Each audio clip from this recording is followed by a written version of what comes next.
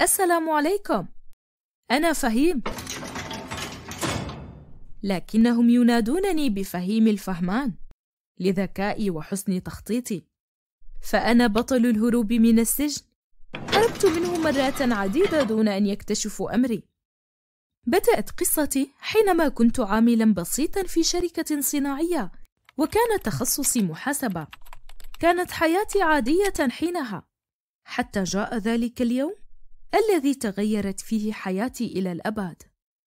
قمت صباحا وذهبت إلى عملي كعادتي وفور دخولي استقبلتني السكرتيرة قائلة أستاذ فهيم المدير في انتظارك. هل من خطب؟ لا أدري لكنني أظن أن الأمر مهم. طرقت الباب ودخلت إلى مكتب المدير. ألقيت عليه التحية فردها ببرود ثم صدمني بقوله أستاذ فهيم هذا ملفك. لقد انتهى عملك معنا. حاولت الاعتراض لكنه لم يمنحني فرصة. لا يمكنني أبدا التراجع عن هذا القرار. لقد تم خفض عدد العمال بالشركة وقد استغنيت عن العديد منهم وأنت منهم أيضا. عدت إلى منزلي يائسا. وبدأت أبحث عن عمل. مرت الأيام تلو الأيام والشهر يتبعه الشهر. ولم أجد عملا وقررت أن أجد لنفسي حلا فكل ما ادخرته من مال سينفذ قريبا. وفجأة جاءتني فكرة جهنمية لجني الكثير من المال ولكن بدون عمل. الحل يا أصدقاء هو التأمين الاجتماعي. في البداية خرجت صباحا من منزلي وتوجهت نحو الطريق.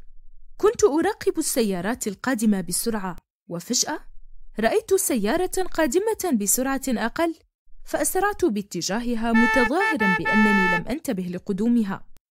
وهكذا تعرضت لحادث سيارة وكسرت يدي. أسرع بي إلى المشفى. أين وضعوا لي الجبيرة عليها؟ لكنني لم أحس بالألم خاصة وأن شركة التأمين قامت بتعويضي عن الأضرار بمبلغ مالي لا بأس به. ومن هنا بدأت أعرض نفسي لحوادث بسيطة ثم أذهب للتأمين ليقدموا لي التعويض المادي عن كل حادث أعيش به أياما. ألهو وأمرح. وإذا ما قارب على الانتهاء بحثت عن حادث آخر ليكون مصدر رزق بالنسبة لي وكنت في كل مرة أغير المنطقة وأغير طبيعة الحوادث التي أتعرض لها. كنت أستطيع التوقف دون أن يكشف أمري. لكن الطمع أعماني وبقيت على هذه الحال لمدة عامين إلى أن جاء ذاك اليوم الذي طرق فيه ساعي البريد بابي. فتحت له فقدم لي عدة طرود بريدية وغادر. دخلت المنزل أتفقدها حتى وقعت عيناي على إحداها وقد كتب على الطرد استدعاء. نعم لقد وصلني استدعاء من شركة التأمين وبسرعة توجهت نحو الشركة وأنا أحس بأنهم اكتشفوا حيلي. وعند وصولي استأذنت لمقابلة المدير فسمحت لي السكرتيرة. دخلت مكتبه وألقيت عليه التحية لكنه نظر إلي بغضب وقال السيد فهيم لقد رفعنا عليك قضية نصب واحتيال ولكنني لم أفعل شيئا كلها كانت صدف فتح الباب لي وقال أقنعهم بذلك في المحكمة. أخرج الآن فليس عندي وقت أضيعه معك. غادرت غاضبا وأنا أفكر بأي عذر مقنع قد يساعدني في هذه القضية.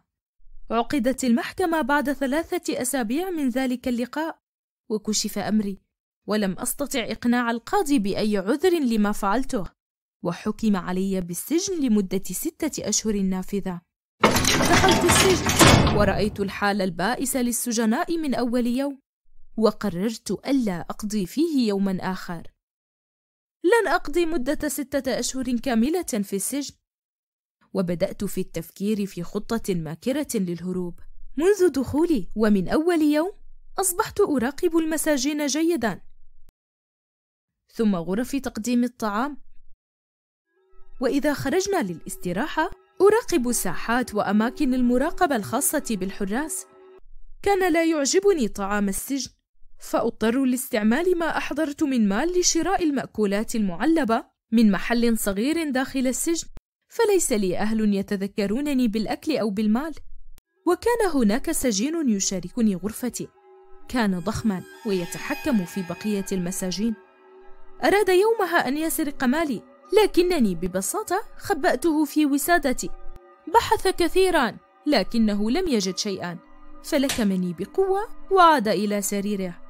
واصلت التدقيق في كل ما يحدث داخل السجن ولاحظت أن هناك رجال يرتدون الزي المدني يدخلون أحيانا لأجل الصيانة ثم يغادرون السجن. لحقت بأحدهم. فرأيته يخرج من عتاده هاتفا خاصا بالشرطة. ضغط على أحد الأزرار فتواصل مع الحراس الذين عند الباب وهو يلوح بيده. ألو لقد أنهيت عملي افتحوا الباب. فتحوا له الباب فتوجه نحوهم وقدم لهم الهاتف وغادر دون أن يدققوا في ملامحه. ومن هنا جاءتني خطة للهرب وبدأت في تنفيذها. بعد الطعام عدنا إلى غرفنا فقلت للرجل الضخم عندي مبلغ كبير وسأعطيه لك لكن عليك أن تعطيني مقابل ذلك. وما الذي تريده مقابله؟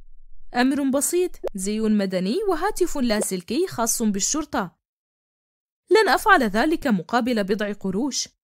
بل هو مبلغ يكفيك للعيش عدة أشهر. تحمس الرجل الضخم ووافق على العرض. وفي تلك الليلة أحضر لي ما طلبته دون أن يسألني عن سبب طلبي. فقد كان كل همه المال. شكرته وكنت عند وعدي. فقدمت له كل المال الذي كان معي. ولم أترك غير ورقة نقدية واحدة.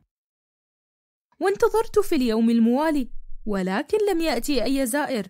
وفي اليوم السابع لي في السجن جاء عدة عمال وكانت فرصتي الذهبية للهراب. ارتديت الزي المدني وحان موعد الطعام.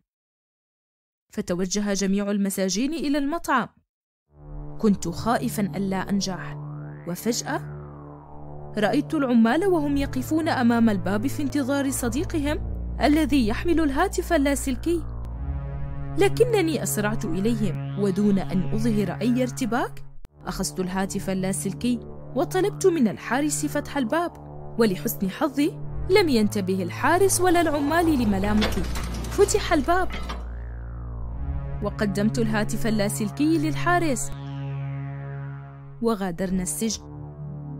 أخذت أول سيارة تاكسي وطلبت منه أن يوصلني إلى أي مكان بقدر الورقة النقدية التي كانت بحوزتي.